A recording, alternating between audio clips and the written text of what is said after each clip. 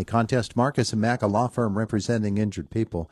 Uh, you made a good point a couple of moments ago when you said it is still winter, isn't it? It is. Um, we we really don't want to admit that, but it's February 23rd. We still got a month of winter to go. At least. yeah. This is Western Pennsylvania, after all. But I talked to all those folks down south uh, that I have as, as guests on the program, and they say, "Oh, we're going to 78 today." Well, that's not happening here. No. So we have to be a little bit more patient, don't we? We we do. It's easy to to get fooled mm-hmm. or to want to charge out there and do too many things. Yeah. You know, there's always things we can do. I mean, it's it's great weather to at least get out and look things over. You know, even if you just do that once a week, just kind of peruse around, check things out, survey, make sure, yeah, do a survey, look look your plants over, um, as well as other things. You know, just to mm-hmm. it affects the winter, the freezing and thawing. You know, we're still getting those cycles, so that that can uh, cause problems in itself. You know, and moisture, um, but we're more focused here on yards and gardens and things. So, well, I want to focus on my first stop when I survey the yard is going to be the grapevine. Yeah. Uh, and is it time yet, or should I wait a little longer before I prune those things? You can probably wait a little longer. You probably don't have to because they're probably Concord grapes, mm-hmm. so yeah, they they're they're pretty hardy, and and a, a lot of the grapes would be already pruned by now. Yeah. So yeah, you can you can dive into that and you know, and that, and again, there's a crop that needs annual care, annual pruning, uh, and then we have our apple trees, um, pear trees, our fruiting trees. Them. Those, you know, it's time to to look at those, um, and even be, start pruning those. Should should we be thinking back uh, to what they looked like in in the height of their growing season, and whether is is the guide at which we're looking going to be um, how bent over were those limbs, uh, overburdened with fruit last year? Is, is that the number one guideline that we should look at? That's definitely something that needs to be yes considered uh, because that will can influence how much pruning you do. Mm-hmm. You know, if we have too many limbs, uh, and especially apple trees and pear trees do the same thing, but they produce a lot of wood. Uh, they like to grow. You know, as long as they're in a reasonable site, uh, they will put on growth, mm-hmm. and they put on excessive growth. Um, if we're getting between one to two feet of growth a year, that's very ample. If we're getting more than that, then we need to start looking at well, why is that? Are, is our soil very fertile uh, naturally? Are we applying fertilizers and compost uh, to that ground on an annual basis or more often? Uh, that's kind of fueling that fire, mm-hmm. uh, making excessive growth. Uh, because with a fruit tree, we've got to go in and we've got to keep it open. We have to have good structure in that tree to support the fruit load. Mm-hmm. That's we're after the fruit, and we need to provide that structure. That all those limbs and branches in that trunk are a framework um, to be able to support fruit. So we think of the shade of the old apple tree.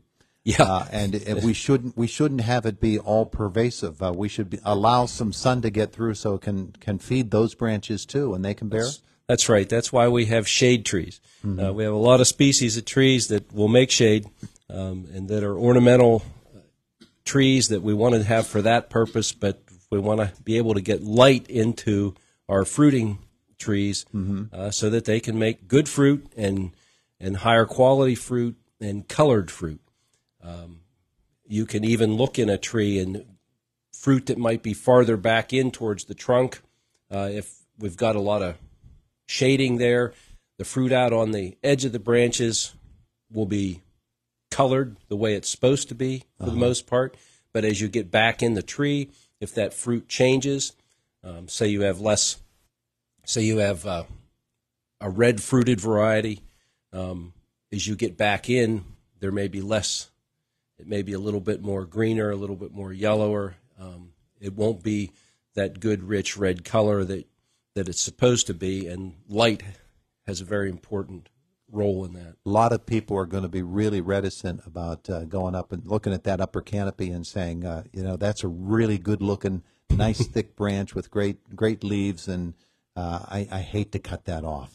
That that's a good one. I think I'll keep that one, and I think I'll keep that one over there. And pretty soon they're not not really affecting much change Right? at all. Yeah, not doing much. Takes some courage to cut that off, It- doesn't it? It does, and it's a it's a different type of pruning, um, and it's kind of special to fruit trees uh, because you want to go in there and do that, and you can be very aggressive, um, or you can back off a little bit. You know, the more aggressive you get, especially if you're making what they call heading cuts or just chopping the ends of the branches off. Um, those types of cuts will stimulate new growth. So we, we have to. So it goes back in the other direction. It goes right. It makes you even more work. Uh, so we have to, again, look at that structure, and over the first five, six years, even seven years life of that tree, where really it's in a training period, where we're trying to get the limbs going in the right directions, uh, the right number of limbs spaced apart, and and trying to get a good structure there.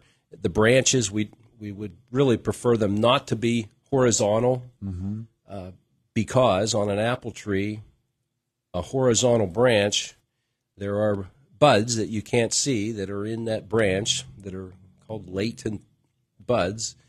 Um, we have a horizontal branch.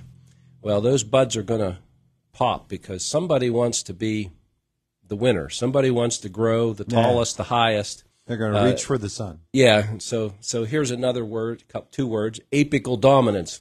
What? Apical dominance. So it was apical. Yeah. That's it's apples. well, we could we could stretch that. that way. Apical dominance. apical dominance. So that's why those branches all grow up. Everybody's competing against each other. You know, they're trying to get to the top to be the the highest, most bud, uh, you know, branch on that tree. So there's competition in there. So we're trying to make our pruning cuts to not make that situation worse. Uh, but anyhow, so when it's 90 degrees like that, then you might get four, a bunch of buds opening up, making new branches, and then you've got all these branches there that you're looking at. Um, and especially in the first year, all they're going to do is make leaves, uh, wooden leaves. Uh, they will not have flower buds on them. Yeah. So you get excessive growth in there. So if we angle those branches um, upward, then that will greatly reduce the chance of that happening. It doesn't eliminate it, but it greatly reduces it. Training a tree and how it should grow. Yeah, that's a whole. Wow. It, it is. It, it's very scientific, isn't it? Are there There's a people who lot- specialize in that? Yes, there are. Uh-huh. And then, you know, and it's one thing to have a freestanding tree. So we just have we plant a apple tree. There it is in the ground. We have no support system for it. It's just there. Uh, so there's, it's probably the simplest way to train a tree is to do it that way. When we add wire or a support system to it, a trellis, uh, then then we have to change our thinking a little bit. We're going to train it differently because now it's on a plane rather than being. And I always say those open uh, trees by themselves, we try to grow them kind of like a Christmas tree shape. So wider at the bottom, pointed at the top. Narrow at the top allows more light in. Um, and as you get towards the bottom, then you've got wider branches, which will support more fruit. Uh, but we need that pyramidal shape to help let the light get into there. And then you put it on a trellis or a support system, then then we're looking at more of a plane. We're narrowing it in. Um, so you're trying to train those branches. You're, you're probably going to remove some branches that would come out um, east and west, and we'll keep the ones that are going north and south uh, as you look down on top of the tree. And so you're going to prune it differently because you have a structure there that you're going to lightly attach it to. Gee, and then was there's I was just walking out in the yard to look at the tree. You've got me. well, got you me were going going to look at the college here. grapevine. You know, and most grapevines are on either a trellis uh, or An arbor. an arbor. Yeah. You know, and so again, you're going to those vines will grow.